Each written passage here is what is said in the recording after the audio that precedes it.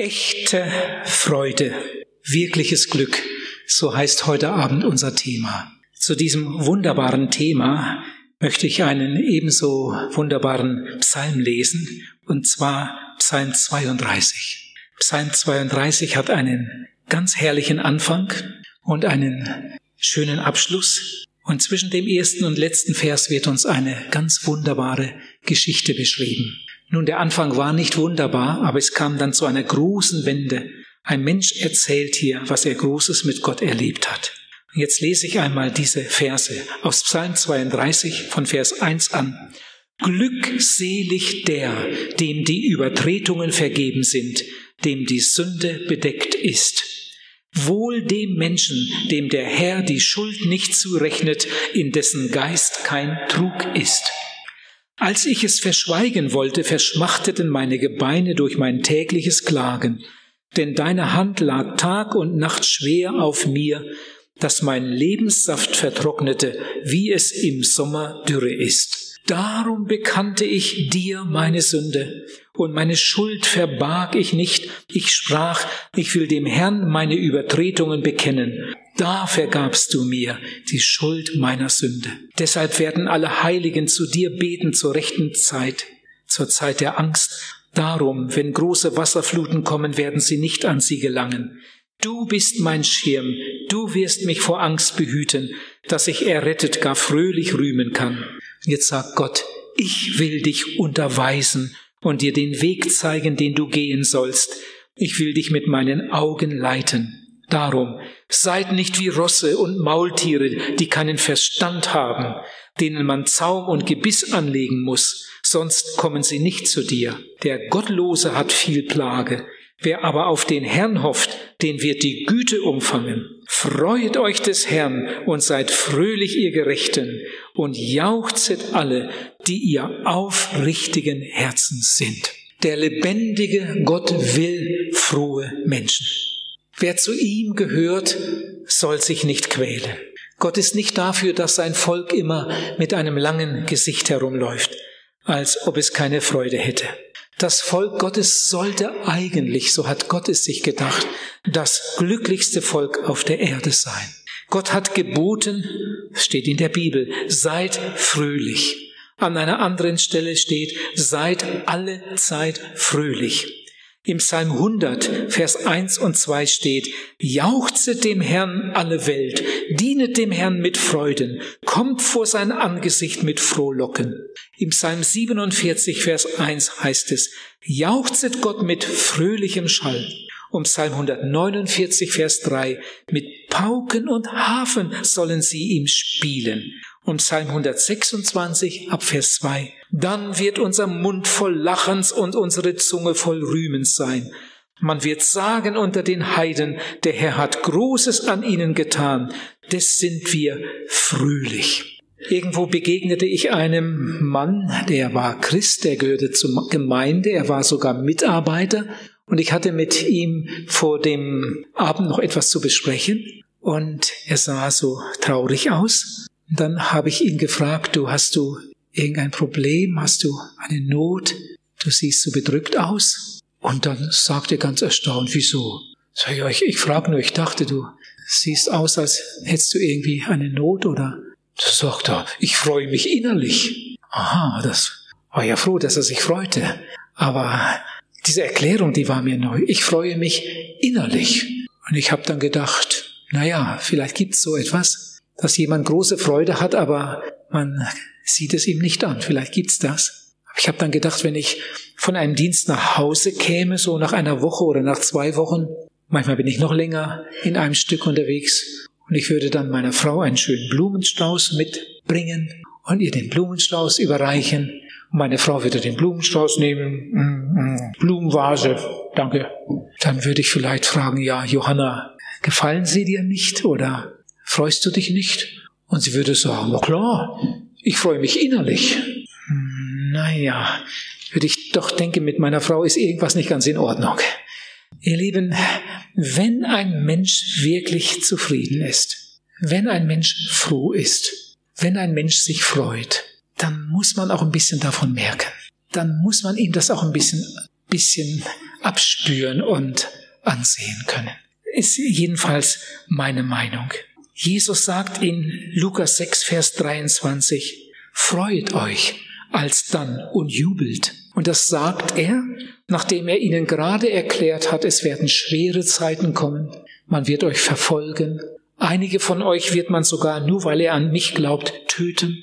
Die Jünger haben wahrscheinlich ganz entsetzt geguckt. Meinst du das ernst? Und Jesus sagt, aber freuet euch alsdann und jubelt. Sicher kennen einige von euch Lieder von Paul Gerhard. Paul Gerhard, dieser große Dichter. Wisst ihr, dass Paul Gerhard durch unsagbares Leid gegangen ist? Dass vier seiner Kinder ganz kurz hintereinander starben. Er lebte in der Zeit des Dreißigjährigen Krieges. Paul Gerhard hat an manchen Tagen mehr Zeit auf den Knien als auf den Füßen verbracht. Er hatte ein ganz, ganz schweres Leben. Und ausgerechnet von diesem Paul Gerhard kommen die schönsten Lieder. Lieder, die voller Anbetung sind und Dank und, und Freude, vor allem Freude auf die Ewigkeit. Oh, denk ich, bist du hier so schön und lässt du es uns so lieblich gehen auf dieser armen Erde. Was wird doch erst nach dieser Welt dort in dem schönen Himmelszelt und güldenen Schlosse werden? Oh, wär ich da, oh stünd ich schon, du großer Gott vor deinem Thron und trüge deine Palmen. Dann wollte ich nach der Engel weiß erhöhen deines Namens Preis mit tausend schönen Psalmen. Und das ist so der Tenor seiner Lieder, welches Lied man auch sich vornimmt von Paul Gerhard. Sie sind in den allermeisten Fällen voller Dank, voller Freude und äh, sie haben fast alle am Ende des Liedes so einen, einen Ausblick auf die Ewigkeit. In Nehemia Kapitel 8 Vers 10 steht, die Freude am Herrn ist eure Stärke. Man kann auch sagen, die Freude am Herrn macht euch stark. Ihr Lieben, ich möchte denen, die sich jeden Tag etwas Zeit zum Gebet nehmen, vielleicht sogar viel Zeit zum Gebet nehmen, denen möchte ich doch vorschlagen, dass sie ihre Gebete immer mit Danken anfangen, mit Loben. Bevor man überhaupt den Mund aufmacht, erstmal überlegen, für was könnte ich Jesus jetzt alles danken?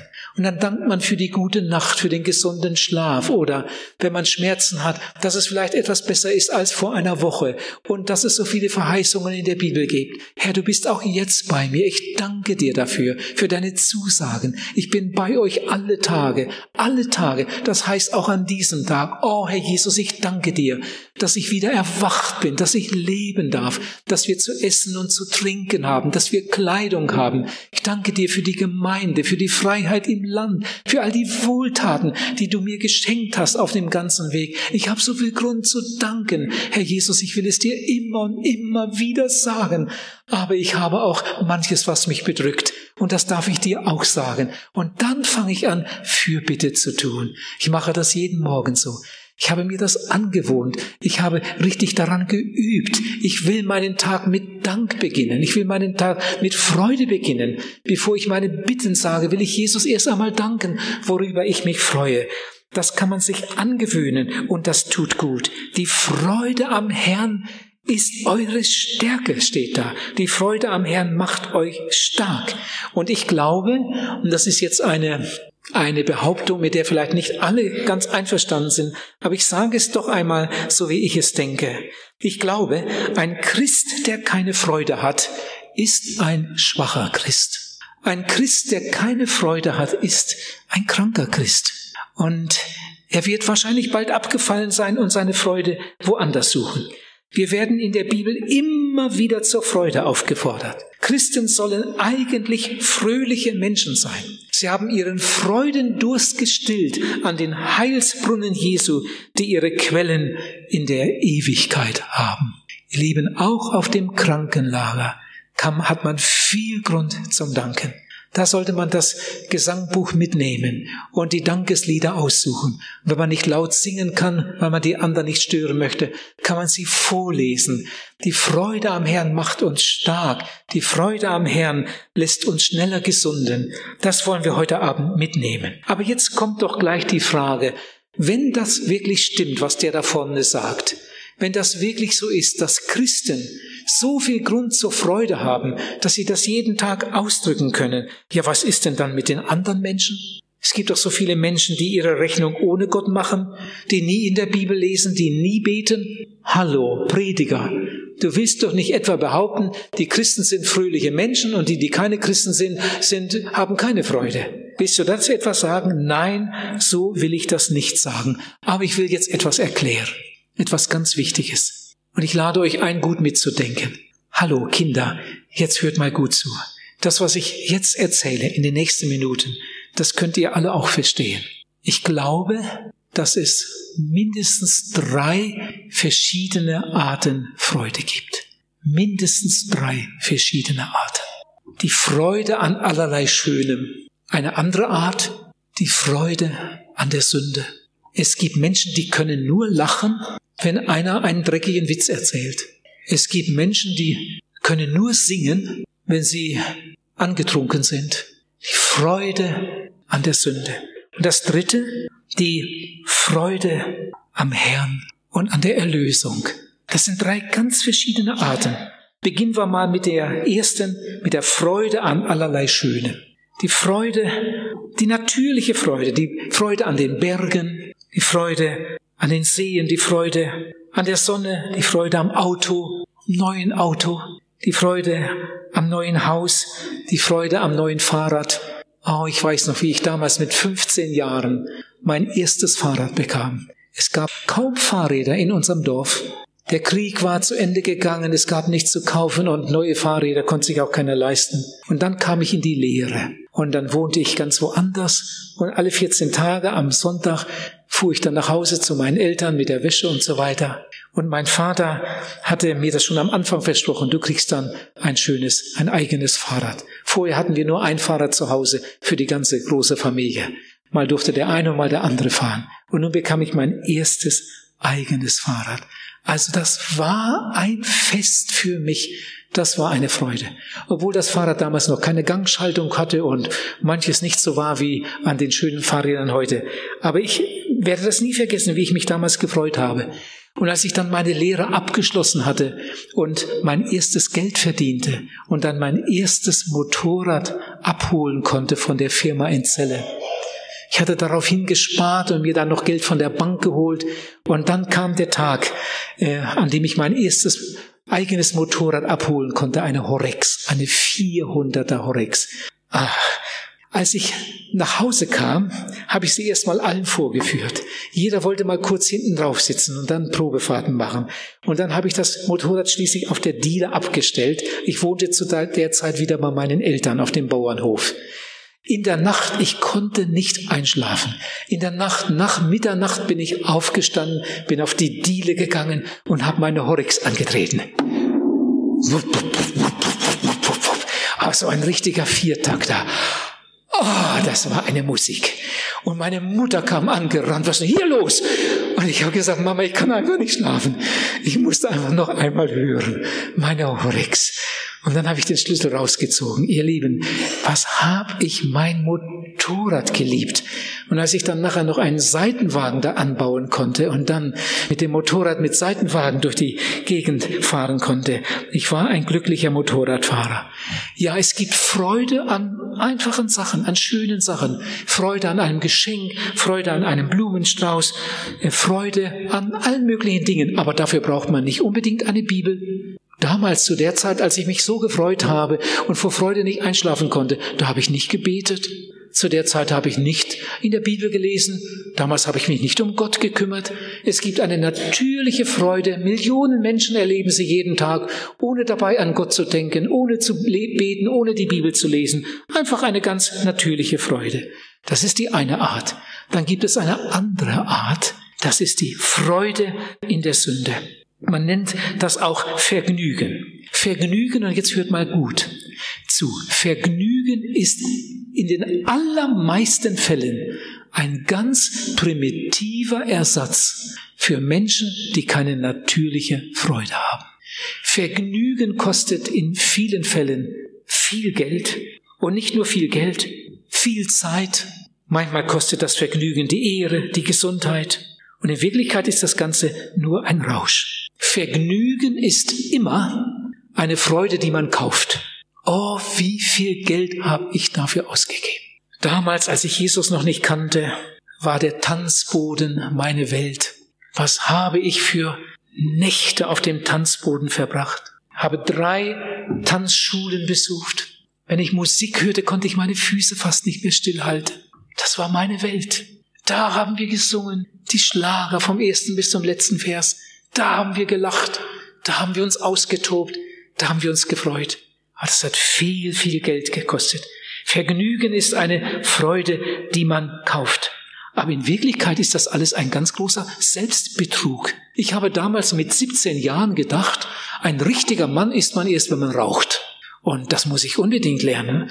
Und äh, ich hatte ja fast kein Geld dafür, aber ich habe es dann bald gelernt. Und ich weiß noch, wie ich an einem Abend unter Anleitung eines eines anderen den Lungenzug geübt habe und geübt und geübt habe, äh, bis ich ihn konnte, ohne dabei zu husten. Und ich habe gar nicht gemerkt, wie schnell man äh, nach so einer Übungsphase sich so daran gewöhnt haben kann, dass man nicht mehr ohne leben kann. Und das war eine sehr, sehr teure Sache damals für mich. Wie viele Menschen haben ihre Herzen berauscht an den trüben und vergifteten Quellen weltlicher Freude. Und eines Tages sind sie heimgekehrt mit dem Bekenntnis, es ist alles Trug. Es ist wie ein Traum. Plötzlich ist alles zu Ende. Es war nichts wert. In der Bibel wird uns von einem Menschen erzählt, in Lukas 16, Vers 19 steht das, der lebte alle Tage herrlich und in Freuden. Nicht nur am Wochenende, nicht nur im Urlaub. Der lebte alle Tage herrlich und in Freuden. Aber das war Freude in der Sünde. Wenn man das Ganze im Zusammenhang liest, dann merkt man das. Das war Freude in der Sünde. Das war das sündige Vergnügen. Und das hält meist nicht lange. In Sprüche 14, Vers 13 steht, nach der Freude. Man muss bei diesem Bibelvers das Wort der betonen. Man muss nicht lesen, nach der Freude kommt Leid, sondern man muss lesen, nach der Freude, nach dieser bestimmten Art von Freude, nach der Freude kommt Leid. Pastor Kemner sagte einmal, beneide nie einen Reichen, der sich alles leisten kann und in Saus und Braus lebt. Und wenn er zwei Frauen hat und drei Autos und vier Häuser, Pastor Kemner sagt, beneide nie einen Reichen, der in Saus und Braus lebt. Er hat ungeheuer viel zu verantworten. In Jakobus 4, Vers 9 sagt Gott zum Reichen, eure Freude nicht die Freude, sondern eure Freude wird in Traurigkeit verwandelt werden. Und Ernst Moritz Arndt sagt, nach Vergnügen rennt, wer die wahre Freude nicht kennt. Das ist ein gutes Wort. Ihr jungen Leute, hört es noch einmal. Vielleicht könnt ihr es euch sogar merken. Oder ihr fragt mich nachher nochmal, wie das Wort hieß. Und schreibt es euch auf. Nach Vergnügen rennt, wer die wahre Freude nicht kennt. Echte Freude, wirkliches Glück, das ist heute Abend unser Thema. Es gibt eine Freude, eine natürliche Freude, das ist eine schöne Sache, aber die vergeht. Und es gibt eine Freude in der Sünde, die hat schreckliche Folgen. Und es gibt dann noch diese dritte Art Freude, die Christusfreude, eine bleibende Freude. Ein Dichter sagt, wir haben eine Freude, die niemand von uns nimmt. Wir haben eine Harfe vom König selbst gestimmt. Wir haben Glück, das bleibend und unbeschreiblich ist. Wir haben alles, alles in dem Herrn Jesus Christus. Ich habe irgendwo in Norddeutschland evangelisiert. An einem Abend, ich hatte wieder eingeladen zum seelsorgerlichen Gespräch. Ich hatte eingeladen, zu Jesus zu kommen, sein Leben ihm zu übergeben. Und dann kamen einige Leute und darunter eine ältere Frau. Diese Frau hat etwas von zu Hause gesagt, von ihrem Mann. Sie sagt, meinem Mann gefällt es gar nicht, gefiel es gar nicht, dass sie hierher wollte. Er wollte das gar nicht. Aber ich war vor einigen Jahren schon mal in so einer Veranstaltung und mir hatte das so gefallen und als ich jetzt hörte, es ist wieder so etwas, wollte ich gern kommen, aber mein Mann war richtig ärgerlich. Er hält überhaupt nichts davon. Er ist richtig abweisend. Und dann hatte ich mich von den anderen verabschiedet, die da auch im Raum waren und die Frau gebeten, bleiben Sie doch noch einen Augenblick, ich möchte Ihnen noch etwas sagen. Dann waren wir beide dann noch allein und dann habe ich der Frau gesagt, ich denke, das wäre gut, wenn wir jetzt noch für Ihren Mann beten würden. Sie haben jetzt Jesus gefunden und Sie können das jetzt auch machen. Ich bete jetzt für Ihren Mann und dann beten Sie noch für Ihren Mann. Dass Gott sein Herz verändert, dass, dass Ihr Mann auch zu Jesus findet. Wir sollten jetzt noch darum beten. Und dann sagt die Frau, für den brauchen Sie nicht beten. Ich hatte das gerade angeboten und jetzt sagt diese Frau, für den brauchen Sie nicht beten. Der kommt sowieso nicht hierher. Und dann habe ich gesagt, aber wir können ja trotzdem dafür beten. Beten jetzt einmal und Gott kann Wunder tun und wer weiß, wir beten jetzt doch einmal. Und dann habe ich gebetet, Amen, und dann habe ich gefragt, wollen Sie nicht auch noch beten? Dann hat sie auch noch einen Satz gesagt, ungefähr so, Herr, verändere doch meinen Mann oder so ungefähr. Ja, und dann habe ich gesagt, erzählen Sie ihm ganz, ganz lieb, ganz vorsichtig, aber ganz lieb, dass Ihnen das hier so gefallen hat und dass es ihm vielleicht auch gefallen würde, ob er nicht doch mal mitkommen will. Und inzwischen beten wir und ich werde morgen einige Male für Ihren Mann beten. Am nächsten Abend, ich komme ans Mikrofon und sehe die Frau da sitzen und neben ihr einen älteren Herrn. Irgendwie passte das so vom Alter her. Dann habe ich gedacht, das könnte er sein. Wahrscheinlich ist er das. Bestimmt ist er das. Ich habe an dem Abend manches gepredigt, was ich gar nicht vorhatte zu sagen, nur um irgendwie diesen Mann auch anzusprechen. Und nachher ging ich runter in den Seelsorgeraum, nein, rüber in den Seelsorgeraum, hatte wieder eingeladen, wenn jemand sein Leben Jesus übergeben möchte, komm doch, hab den Mut, komm in die Seelsorge. Wir wollen miteinander reden und zusammen beten. Und es kamen wieder einige. Mit einmal sehe ich, wie die Frau reinkommt und ihr Mann. Sie kam zuerst durch die Tür und dann ihr Mann. Also ich traute fast meinen Augen nicht. Da bin ich ihm entgegengegangen. Und ich kannte ja den Namen der Frau und dachte, der heißt sicher genauso. Habe ich ihn angesprochen und Sie sind sicher Herr so und so. Ja. Hat's Ihnen gefallen? Ja, sehr. Dann sagt mir der Mann, das habe ich noch nie so gehört. Also wirklich, ich bin evangelisch, aber sowas habe ich noch nie gehört. Und wie Sie das erklärt haben und meine Frau hat mir etwas gesagt, was sie gestern hier erlebt hat. Also das würde ich auch gerne erleben. Ihr Lieben, dann hat dieser Mann sich bekehrt, wie die Bibel das nennt. Und nachher sind wir glücklich auseinandergegangen. Einige Monate später hatte die Gemeinde mich eingeladen, beim Erntedankfest Gottes eine Predigt zu halten. Nach dem Gottesdienst ging die ganze Versammlung runter in den, in den Essraum, da war Kaffee und Kuchen und dann konnte man da noch äh, essen und trinken.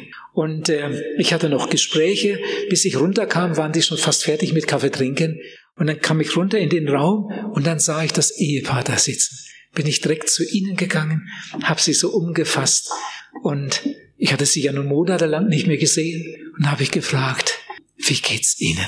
Und dann schaut der Mann seine Frau an, seine Frau schaut ihn an. Es war immer noch still. Ich hatte gefragt, wie geht's Ihnen?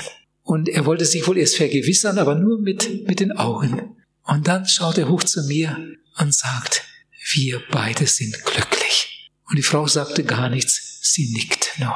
Wir beide sind glücklich. Ich kann mir ganz gut vorstellen, dass die beiden, sie waren jetzt schon ziemlich alt, dass die auch irgendwelche gesundheitlichen Probleme haben konnten.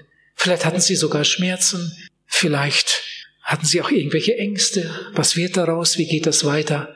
Aber in diesem Augenblick, auf meine Frage, wie geht es Ihnen, sagt der Mann, wir beide sind glücklich. Und sie nickt.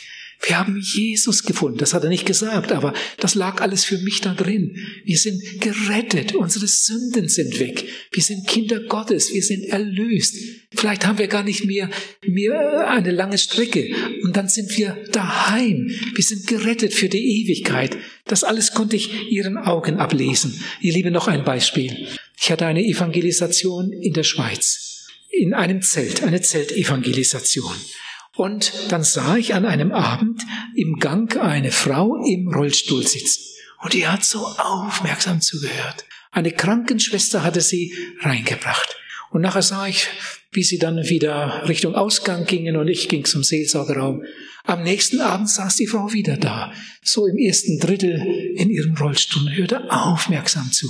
Nach der Predigt bin ich nicht gleich zum Seelsorgerraum gegangen, sondern erst einmal zu dieser Frau im Rollstuhl. Und dann habe ich sie begrüßt und gesagt, dass ich mich freue, dass sie wieder dabei sein konnte. Haben Sie schon öfter solche Versammlungen besucht? Ich wollte erst mal herausfinden, wo sie innerlich stand. Dann hat sie gesagt, ja, heute zum zweiten Mal. Dann wusste ich, für sie ist das eigentlich alles neu und fremd hier. Und da habe ich gefragt, glauben Sie das, was Sie hier gehört haben? Das glaube ich ganz fest. Ja, ich habe ja heute so viel über Jesus gesagt und dass Jesus für uns am Kreuz starb, für unsere Sünden und dass er uns alles vergeben möchte, uns retten möchte. Er wartet darauf, dass wir zu ihm kommen und ihm unsere Sünden bringen und ihn annehmen. Möchten Sie das nicht tun? Und die Frau sagt, ja, eigentlich ja. Sie dreht sich um zu der Krankenschwester. Geht das? Hast du noch etwas Zeit? Und ja, gern. Die Krankenschwester war ja eine bekehrte Frau. Dann hat die Krankenschwester sie zum Seelsorgezelt geschoben. Da waren da noch einige Leute. Ich habe alles erklärt. Wir haben zusammen gebetet. Und diese Frau im Rollstuhl übergab ihr Leben Jesus. Ich habe sie dann noch einige Male da im Zelt gesehen. Aber jetzt hört. Dann vergingen Jahre. Jahre. Und ich kam wieder in die Gegend. Ich kam nach Thun. Es ist im Berner Oberland. Dahinter beginnen dann bald die Alpen, südlich von Bern. Thun. Wir hatten ein Zelt. Das Zelt hatte weit über 2000 Plätze. Und das Zelt war gestoßen voll. Wir hatten eine wunderbare Zeit dort zusammen. Und an einem Abend sehe ich ganz hinten in dem langen Zelt eine Frau, eine Person im Rollstuhl. Und da musste ich an diese Frau denken, die sich Jahre zuvor, nicht weit entfernt von Thun, für Jesus entschieden hatte. Ob das die Frau ist. Und nach der Predigt bin ich sofort außen herum. Ich wäre ja da nicht durchgekommen. Wenn die Leute erstmal aufstehen, ist ja kein Durchkommen mehr. Außen herum zum, zum Eingang. Und dann kam sie mir gerade entgegen. Wieder wurde sie von einer Person geschoben. Und ich gucke in ihr Gesicht und ich sehe, das ist sie. Das ist sie, die Frau von damals. Und als ich sie anschaute und sie mich anschaute, äh, ja, ich kann mich jetzt nicht an alles erinnern, was wir, was wir da äh, geredet haben, aber das waren dieselben leuchtenden Augen wie damals, nachdem sie sich für Jesus entschieden hatte. Ein paar Worte haben wir gewechselt und sie hat mir noch einmal Danke gesagt für damals, dass ich direkt auf sie zugekommen war, sonst hätte sie das vielleicht nicht geschafft. Sie war unterwegs mit Jesus. Ihr Lieben, was ich damit sagen will, die Frau saß immer noch im Rollstuhl aber ihre Augen leuchteten. In ihrem Herzen war etwas passiert. Das kann nur Gott tun. Hört mal, was David, der diesen wunderbaren Psalm geschrieben hat, den ich vorhin gelesen habe, was David, nachdem er aus einem schlimmen Leben zu Gott zurückgekommen war und Vergebung gefunden hatte, schreibt in Psalm 30 am Schluss, Vers 12, Du hast mir meine Klage verwandelt in einen Reigen. Du hast mir den Sack der Trauer ausgezogen und mich mit Freude gegürtet, dass ich dir Lob singe und nicht stille werde. Herr mein Gott, ich will dich ewiglich preisen. In Psalm 32, das habe ich ja vorhin schon gelesen, sagt David, glückselig der Mensch, nicht glückselig der Mensch, sondern glückselig der Mensch, dem die Sünden vergeben sind, dem der Herr die Schuld nicht anrechnet. Ich glaube, David war der glücklichste Mensch im Alten Testament. Ich habe nirgendwo eine Stelle gefunden, wo von einem Menschen die Rede ist, der glücklicher, dankbarer war wie dieser König David. Nachdem er seine ganze schwere Schuld abgeladen und Vergebung gefunden hatte und dann anfing, Loblieder zu schreiben und zu singen und sie anderen beizubringen mit dem Wunsch, dass sie alle diese Lieder singen möchten. Glückselig der Mensch, dem die Sünden vergeben sind. Welch ein herrliches Leben, wenn die Schuld nicht mehr drückt. Ihr Lieben, ich sage das jetzt nicht hier, weil das mein Beruf ist, weil ich ja nun mal über das Evangelium reden muss, weil ich Prediger bin, sondern ich sage das aus tiefstem Herzen, weil ich das so erlebt habe und immer wieder neu empfinde. Was für ein herrliches Leben, wenn die Schuld nicht mehr drückt wenn all die kleinen und großen Sünden vergeben sind, wenn ich am Abend zu Bett gehen kann und weiß, es ist alles in Ordnung, alles in Ordnung. Und wenn ich heute Nacht sterbe, es ist alles in Ordnung. Ich bin bereit, ich bin bereit. Ich möchte mich nie ins Auto setzen mit unvergebener Schuld. Ich möchte nie zu Bett gehen mit unvergebener Schuld. Ich habe einmal, als ich mich bekehrte und Jesus aufnahm, meine ganze sündige Vergangenheit ihm gebracht und er hat sie mir vergeben. Und wenn mir auf dem Weg, den ich inzwischen gegangen bin, irgendwann eine Panne passiert ist und ich habe gemerkt, oh, das war nicht gut, das war nicht gut. Damit habe ich Jesus traurig gemacht. Sobald ich das gemerkt habe, bin ich damit zu ihm gegangen und habe ihm gesagt, Herr Jesus, das tut mir leid, bitte vergib es mir. Und wenn mir morgen oder übermorgen etwas passiert und ich merke, das war jetzt nicht in Ordnung, das kann ein schlechter Gedanke sein, eine lieblose Reaktion oder irgendetwas und ich merke, oh, das war nicht gut, dann gehe ich nicht einfach weiter, sondern suche ich mir eine Ecke, wo ich allein bin und, und sage es Jesus, Herr, vergib mir. Ich möchte immer mit einem reinen Herzen leben. Jesus hat doch das gesagt, glückselig die Menschen, die reines Herzen sind, die werden Gott schauen. Und nicht erst in der Ewigkeit. Schon hier haben sie einen, einen offenen Kanal. Sie leben mit dem Vater im Himmel auf du und du. Welch ein herrliches Leben. Ich darf es euch freudig bekennen, wirklich, dass ich auch glückselig geworden bin. Wenn ich darüber nachdenke und darüber rede, bricht Freude, bricht Jubel aus meinem Herzen hervor.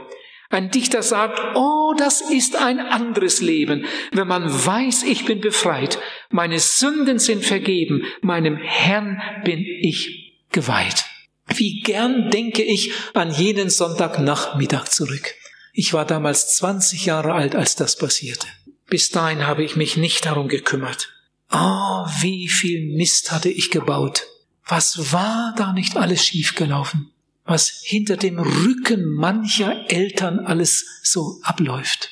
Meine Eltern wussten manches, aber sie wussten nicht zehn Prozent von dem, was ihr Junge alles so anstellte.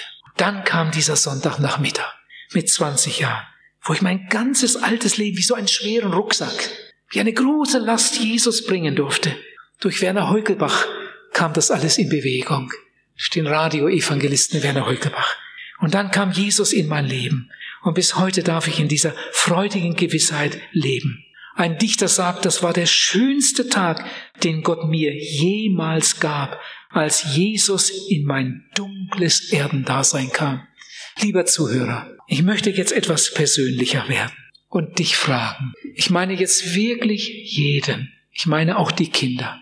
Stell dir einmal vor, du wärst jetzt ganz allein mit mir in einem Raum. Die anderen wären alle nicht da. Und jetzt würde ich dich so fragen, wie ich es jetzt mache lieber Zuhörer, hast du Psalm 32 auch schon erlebt? Bist du auch schon einmal an die Stelle gekommen, wo du gemerkt hast, so wie ich bis jetzt gelebt habe, kann ich nie und nimmer vor Gott bestehen. Wenn ich jetzt so in die Ewigkeit gehen würde, ich würde durchfallen im Gericht und ewig verloren sein. Sag, hast du diesen Punkt schon einmal erlebt auf deiner Reise? Und bist du dann mit deiner Schuld und Sünde zu Jesus gekommen? Hast du sie ihm gebracht im Gebet mit der Bitte um Vergebung? Sag, kannst du erzählen von einer Stelle in deinem Leben? Du musst nicht das Datum wissen, das hast du vielleicht vergessen. Ich kann das Datum meiner Bekehrung auch nicht nennen. Ich habe mir das damals nicht aufgeschrieben. Ich weiß, es war am Sonntagnachmittag, aber das Datum weiß ich nicht. Das ist ja auch gar nicht so wichtig. Aber die Sache ist wichtig.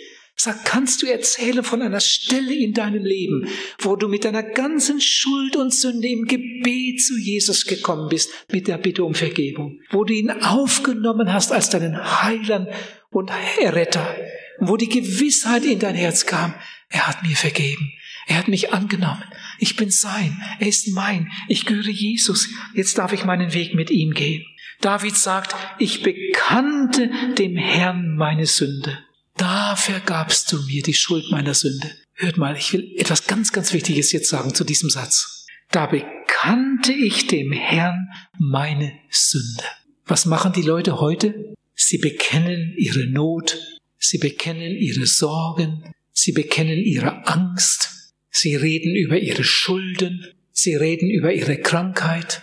Man sagt, wir haben in Deutschland 50.000 Psychiater zu wenig die eigentlich nötig wären, um die Menschen zu betreuen, um den Menschen zuzuhören, die mit ihrer Angst, mit ihrer Not, mit ihren Sorgen nicht mehr aus noch einwissen. Aber wenn wir 100 zusätzliche Psychiater hätten, würde dadurch kein einziger ins Reich Gottes kommen. Solange wir dabei stehen bleiben und unsere Sorgen bekennen, über unsere Nöte reden, über unsere Ängste, über unsere Krankheiten und über alle diese Dinge, wird unser Herz nicht verändert. Ihr Lieben, David hatte auch Not und Angst und Sorgen, aber David bekannte seine Sünden. Und das ist das, das Traurige, dass das beim Psychiater nicht passiert. Dass das in der Regel beim Arzt nicht passiert. Es sei denn, der Arzt wäre ein bekehrter, wiedergeborener Christ und, und kriegt irgendwie die Kurve, um, um den Patienten einmal zu fragen, wie sieht es eigentlich in ihrer Ehe aus? Vielleicht, vielleicht, ja, müsste da etwas geordnet werden und dann geht's noch ein bisschen tiefer und mit einmal ist man dann bei der persönlichen Schuld. Ihr lieben David bekannte seine Sünde. Wenn du möchtest, dass dein Leben wirklich von Grund auf neu wird, wenn du möchtest, dass du mit Gott ins Reine kommst und einmal ins Reich Gottes kommen kannst, dann musst du deine Schuld bekennen. Du musst nicht über deine Not, über deine Angst, über deine Sorgen, über deine Krankheiten reden, sondern du musst mit Jesus über deine Sünden reden und sie ihm bekennen und ihn um Vergebung bitten. Und er vergibt sie dir auf der Stelle. Man muss dem Herrn Jesus nie eine Sünde dreimal sagen oder fünfmal oder zehnmal. Man muss sie ihm nur einmal ehrlich sagen, dann nimmt er sie weg. Und wenn die Sünde weg ist und die auch ist und die auch und die auch, dann kann sie Ehe neu werden, dann kann vieles im Leben, im Alltag sich ändern. Ihr Lieben, das eigentliche Problem dieser kaputten Welt ist das Sündenproblem. Es ist das Problem aller Probleme. Und das hatte David erkannt. Ich bekannte dem Herrn meine Sünde, da vergabst du mir die Schuld meiner Sünde. Jetzt möchte vielleicht jemand sagen, ja, David, der hatte das auch nötig. Ich habe das mal gelesen, was der da gemacht hat, da Ehebruch und so weiter. Also David, der hatte das auch nötig. Oh, lieber Zuhörer, wenn du ehrlich bist, wenn du ehrlich über dein Leben nachdenkst, dann dauert es gar nicht lange. Geht schnell. Und du merkst, ich bin kein bisschen besser als David. Vielleicht liegt deine Sünde auf einer ganz anderen Ebene. Vielleicht hast du nie die Ehe gebrochen. Vielleicht nicht einmal in Gedanken. Dafür bist du vielleicht geizig. Und du weißt gar nicht, dass in der Bibel steht, dass Geiz die Wurzel aller Übel ist. Eine der schlimmsten Augen eine der schlimmsten Sünden in den Augen Gottes. Vielleicht bist du stolz. Stolz ist eine furchtbare Sünde in Gottes Augen. Die Bibel sagt sogar, die Stolzen kennt er von ferne. Sie sind ihm ein Gräuel. Wir sind kein bisschen besser als David. Sieh doch mal deine Hände an. Am besten mit geschlossenen Augen. Denkst einmal nur darüber nach. Was haben diese Hände alles berührt? Was haben diese Hände alles getan? Was haben diese Hände alles geschrieben? Denk einmal über deine Lippen nach. Was haben deine Lippen alles gesagt und gesungen? Denk über deine Augen nach, über deine Ohren. Was haben sie alles gehört? Und vielleicht immer noch. Die Bibel sagt, von der Fußsohle bis zum Scheitel ist nichts Reines an uns. Und die Folge? Die Bibel sagt, was der Mensch sät, das wird er auch ernten. Ihr Lieben, es geht nicht nur um dieses Leben. Gott hat den Menschen nicht nur geschaffen für eine irdische Pilgerschaft, sondern zu einer ewigen Existenz. Was der Mensch sät, das wird er auch ernten. Diesseits der Ewigkeit. Oh, ich wünschte, ihr würdet das alle ganz aufmerksam hören und ernst nehmen. Diesseits der Ewigkeit kann man seine Sünden zum Teil verbergen und die Missachtung aller heiligen Ordnungen mit vielen Entschuldigungen begründen. Aber dort gibt es keine Entschuldigung mehr. Was hier nicht ans Licht gekommen ist, das wird dort offenbar. Deine Sünde wird dich finden. Die Sünde, die du als junges Mädchen getan hast, sie wird wieder aufstehen und sie wird dich jagen. Du magst deine Sünden vergessen. Gott vergisst sie nicht. Du magst deine Sünden zudecken und verstecken. Gott wird dir den Schleier wegreißen. In Lukas 12, Vers 2 steht, es ist nichts verborgen, das nicht einmal offenbar wird. In Offenbarung 20, Vers 13 lesen wir, und sie werden gerichtet ein jeder nach seinen Werken. Pastor Kemner, den ich vorhin schon einmal erwähnte, vergleicht unser Leben, das ja eigentlich kurz ist, im Licht der Ewigkeit. Er vergleicht unser Leben mit einer Eisscholle, auf der wir sitzen.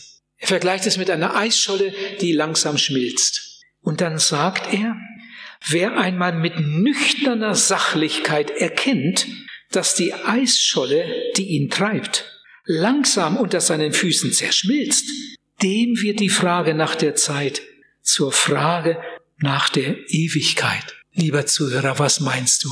Wie viele Jahre wirst du noch haben? Weiß ja keiner im Voraus. Aber manchmal denken wir doch so darüber nach. Wie alt werde ich wohl werden? Werde ich die 20 erreichen? Oder werde ich vorher mit meiner Mofa bei einem Unfall ums Leben kommen? Werde ich die 40 erreichen? Werde ich jemals ins Rentenalter kommen? Was meinst du? Wie viele Jahre wirst du noch haben? Nun, wir wissen das nicht, aber hört mal. Ich habe gerade darüber nachgedacht. heute.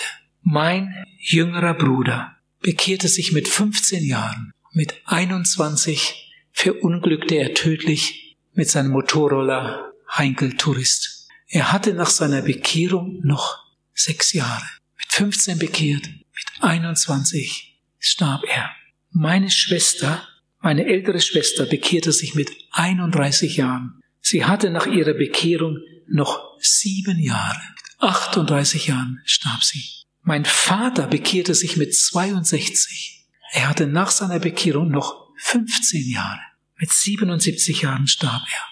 Meine Mutter bekehrte sich mit 55. Sie hatte danach noch 25 Jahre. Mit 80 starb sie. Jetzt mal umgekehrt. Ihr Lieben, hört mal. Meine Mutter wurde 80 Jahre. Bekehrt hat sie sich mit 55. Sie hatte noch 25 Jahre, eine ziemlich lange Zeit. Obwohl sie sich erst mit 55 bekehrte, hatte sie noch 25 Jahre zu leben. Mein Bruder dagegen, der sich schon mit 15 bekehrte, hatte nach seiner Bekehrung nur noch sechs Jahre, weil er mit 21 Jahren tödlich verunglückte.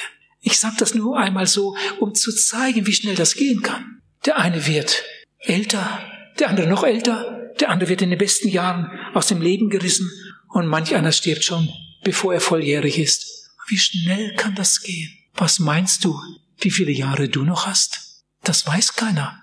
Aber das ist nicht sicher, dass die, die hier vorne auf den ersten beiden Bänken sitzen, das ist nicht sicher, dass alle 15 Jahre alt werden. Das ist gar nicht sicher. Wie viele, viele sterben, bevor sie 15 sind. Und die Älteren, vielleicht bist du jetzt 40. Das ist doch nicht sicher, dass du die 50 erreichst. Und darum diese Frage, bist du bereit, Gott zu begegnen? Hast du die Zeit, die Gott dir gegeben hat, genützt?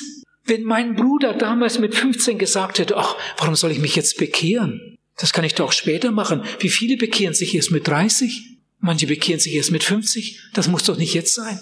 Er konnte nicht ahnen, dass er nur 21 werden würde. Aber zum Glück hat er sich mit 15 bekehrt. Und als es dann zu dem tödlichen Unfall kam, da durfte er als ein geretteter Mensch in die Ewigkeit gehen. Ein Dichter sagt, heute lebst du, heute bekehre dich, ehe es morgen wird, kann's ändern sich. Wenn ein Mensch plötzlich aus dem Leben gerissen wird und er war nicht bereit, dann ist das Ganz furchtbar, ganz furchtbar. Nicht bereit, nicht bekehrt. Aber wenn ein Mensch, jetzt hört, was ich sagen will, wenn ein Mensch, wer weiß, wie viele Möglichkeiten hatte, sich zu bekehren, es immer wieder aufschiebt und eines Tages nicht plötzlich und unerwartet, sondern an einer schweren Lungenentzündung dann so nach einer Woche im Krankenhaus stirbt, aber nicht bekehrt ist, dann ist doch das hundertmal schlimmer. Und wie viele, viele Menschen gibt es, die werden nicht durch einen Verkehrsunfall, sondern durch einen ganz natürlichen Tod in die Ewigkeit gerufen. Sie haben, wer weiß, wie viele Predigten gehört. Sie könnten schon lange gerettet sein, wenn sie nur wollten. Aber sie haben es nicht getan. Sie haben es immer wieder vor sich hergeschoben. Und als sie dann mit 55 an diese schlimme Lungenentzündung bekamen, haben sie sich trotzdem nicht bekehrt, weil sie ganz fest davon ausgingen, ich werde ja wieder gesund. Das kann ich immer noch später mal. Und dann plötzlich war es zu spät. Ich möchte drei Fragen stellen. Sind deine Sünden vergeben? Lieber Zuhörer, freust du dich über die Erlösung wie David? Hast du das erlebt? Freust du dich auf Gottes neue Welt, wie es echte Jünger tun? Als meine Frau im Sterben lag, meine Frau starb 1992. Die Kinder waren am Bett und haben ein schönes Lied über den Himmel nach dem anderen gesungen. Meine Frau hat versucht mitzusingen. Mit letzter Kraft, sie war so schwach. Und dann hat Daniel, unser Ältester, er ist auch Prediger, ihr aus der Bibel vorgelesen. Jesus sagt, in meines Vaters Hause sind viele Wohnungen und ich gehe hin, euch die Städte zu bereiten. Ich werde wiederkommen und euch zu mir nehmen. Als Daniel dann sagte, Mutti, bald bist du da, bald bist du da. Dann sagt sie mit ganz schwacher Stimme, warum dauert es nur so lange? Warum dauert es so lange? Da war ein Mensch so richtig vorbereitet. Sie wusste, es geht heim. Ich bin auf der Reise heim in ein besseres Land. Die Lieder taten so gut und all das, was da vorgelesen wurde. Warum dauert es nur so lange? Aber bald war sie daheim. Gegen Abend machte sie dann ihren letzten Atemzug. Oh, was sind das für reiche Leute, die mit dieser Gewissheit leben mit dieser Gewissheit dem Tod entgegengehen können. Ich bin ein Kind Gottes, ich bin gerettet, meine Sünden sind vergeben, ich bin bekehrt, ich bin wiedergeboren, ich bin erlöst. Darum steht da geschrieben, glückselig der Mensch, dem seine Sünden vergeben sind. Ich komme zum Schluss. Noch einmal diese drei Punkte. Es gibt eine Freude am Schönen und die wünsche ich euch allen wirklich. Oh, ich wünschte, ihr würdet am Morgen die Vögel singen hören. Es gibt Menschen, sogar Christen, die können da durch den Garten gehen und die Vögel zwitschern und singen ihre schöne Melodie. Die hören das gar nicht. Die hören das gar nicht. Die können durch einen Park gehen und die schönsten Blumenbeete sehen, die der Gärtner mit viel Fleiß und Mühe so schön gemacht hat. Sie gehen den Weg entlang, die sehen das gar nicht. Die können irgendwo sein, aber sie nehmen das gar nicht wahr. Es sind eigentlich arme Menschen. Ihr Lieben, es gibt eine natürliche Freude, eine natürliche Freude, eine Freude an der Musik, eine Freude am Gesang, eine Freude am Essen. Bevor wir die Augen schließen, die Hände falten und beten, sollten wir uns das erstmal angucken, was da auf dem Tisch steht. Oh, wie gut ist Gott, wie wunderbar Gott uns versorgt. Wir haben alles Nötige und alles so reichlich, wie wunderbar. Und wir danken ihm dafür. Eine natürliche Freude. Ich wünschte, wir würden sie alle noch viel, viel mehr erleben. Die Freude am Kind, am Geld, am Haus, am, am neuen Kleid und so weiter. Aber, so ein Sprichwort sagt, das letzte Kleid hat keine Taschen. Ihr Lieben, wir wissen, dass all die schönen Dinge hier unten einmal vergehen. Wir werden einmal das letzte Mal durch den Garten gehen. Wir werden einmal das letzte Mal durch den Park gehen. Wir werden einmal das letzte Mal die Blumen sehen und die Vögel zwitschern hören. Das hier unten geht alles, alles zu Ende.